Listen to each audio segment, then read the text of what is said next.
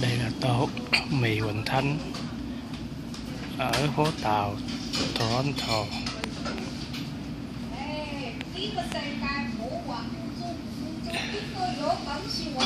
Đây là tiệm.